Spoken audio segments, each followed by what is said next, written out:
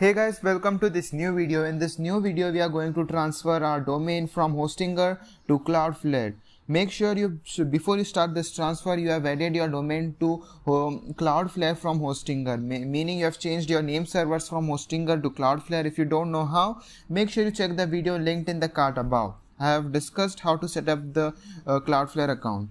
Now, the first step you need to uh, do is before uh, initiating the transfer to Cloudflare is that you need to create an account. You need to disable DNSSEC if it is enabled and and disable the host protection. Now let's start the transfer pro transfer process. Go to your Cloudflare dashboard. Make sure I've added your domain to Cloudflare, the one that you want to transfer. Click on domain registrations. Click on transfer domain. This should list every domain on your account that is eligible for transfer. Select the domain that you need to transfer. Click on confirm domain. Now log into your registrar account and click on unlock. Make sure you have unlocked your domain in Hostinger and enter the authorization code. Now go to your Hostinger dashboard, click on manage domain and then make sure you disable you disable uh, make sure you copy this secret key that is given over your Hostinger dashboard and disable the transfer lock now just paste the authorization code click on confirm and proceed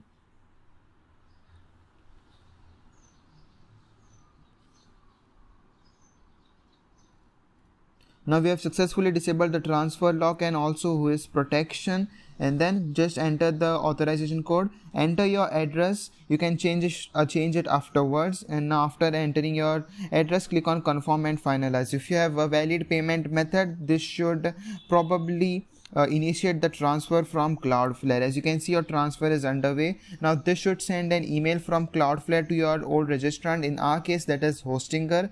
And now Hostinger will send you an email to approve or disapprove the transfer depending upon your old registrar they might uh, uh, they might tell you to wait for 5 days to automatically enable the transfer in our case i had to wait for 5 days to automatically uh, complete the transfer I have I had received the email I had received the email to just cancel the, the, transfer, not to approve the transfer. So that was the only option, and I had to wait for five days to complete the transfer. After five days, the transfer was completed successfully.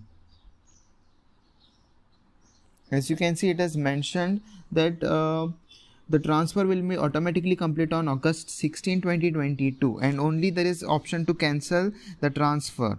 Now if you enjoyed this video make sure you hit the like button and subscribe to our channel for more such videos. Thanks for watching this video till end